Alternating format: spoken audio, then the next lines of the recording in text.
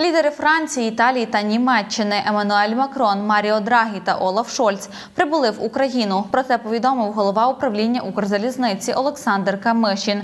Президент Франції Еммануель Макрон розповів, що під час візиту лідери спершу зустрінуться з президентом Володимиром Зеленським та відвідають Ірпінь.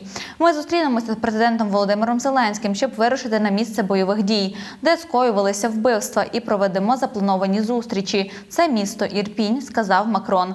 Він додав, що хоче запевнити українців у європейській підтримці та єдності. Також з делегацією приїхала міністерка закордонних справ Франції Кетрін Калона. Ця поїздка дуже важлива для України, Європи та глобальної стабільності, сказала вона у коментарі.